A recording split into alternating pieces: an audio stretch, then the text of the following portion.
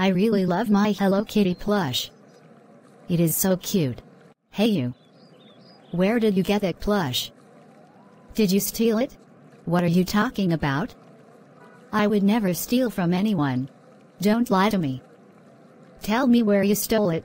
Look. I am an honest person. I would never ever in any circumstances steal from anyone. Stop lying. You like to steal things because you are black. Oh really? That was very racist of you to say. My friend here is right. Not all black people are criminals. Go away you racist jerk. Help me. These two girls are bullying me. Hello there girls.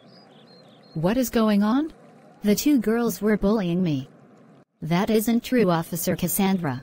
I agree with what Ruby said.